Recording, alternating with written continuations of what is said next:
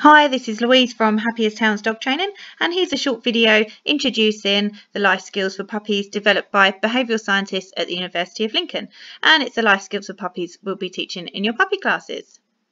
So this is me, I am a fully assessed member of the Association of Pet Dog Trainers UK and a registered animal training instructor with the Animal Behaviour and Training Council and I'm going to be teaching your puppy classes. So our classes are slightly different. Instead of focusing on sit, down and stand, and sit, stay, down, stay, stand, stay, um, we look much more at skills that are appropriate to society, things we really want our dogs to be doing, like settling, being nice and calm, keeping their feet on the floor. We will cover sit, down and stand, but they'll be much more in the context of life skills.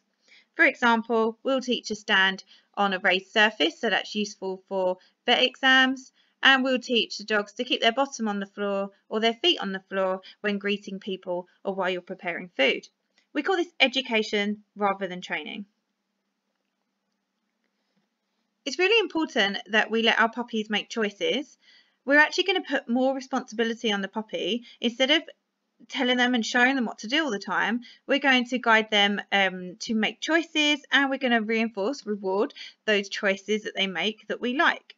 We give them rewards that make them do those behaviors again. So we're going to pay them with things like treats, cheese, puppy kibbles, all the things we mentioned in the previous video about what to bring to classes. Um, we're going to manage so that they avoid errors, so set up the environment so the puppy chooses the behaviours we want them to. Welfare will be always number one. So if your dog needs a drink or needs a break, then please make sure they've got access to their water bowls and they can go out for a break for the toilet or just some fresh air. Likewise, if you need a break or um, some, some, fresh air, that's absolutely fine. So welfare is number one. It's really important that the puppy um, has been to the toilet, has got access to fresh water so that they can actually learn and feel comfortable to learn. I will always give you real world applications for the behaviours that we practice in class. Otherwise, what's the point? So the point of learning these behaviours is so that they are useful in real life situations. Something to remember is that being obedient, i.e. doing as you're told, it's not the same as being well behaved.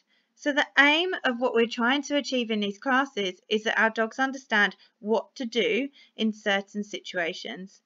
So for example, if you go to a dog friendly pub, you want to be able to sit down and your dogs just chill out at your feet. You don't want to have to tell them down, stay all the time. We want the dog to learn that when you sit down at the table that they chill out on the floor at your feet and you tether them for safety, don't get me wrong.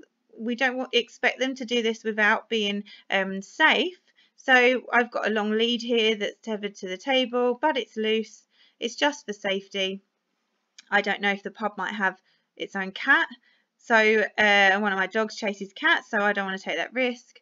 But they know that when I chill when I go to the, uh, pub, dog friendly pub, that they're going to um, relax at my feet. And as you can see here, they've got access to water as well.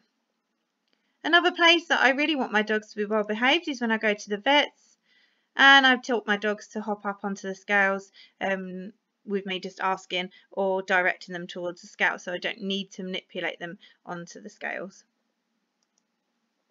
So here's the 10 key life skills. They are all in your book which you'll receive at your first class. You can look at them in more detail through your book and we'll also go through them a bit more, a couple a bit more in the next video. I'm allowed to be a dog is really the most important life skill. We'll definitely be talking about that in the next clip. Thanks for listening.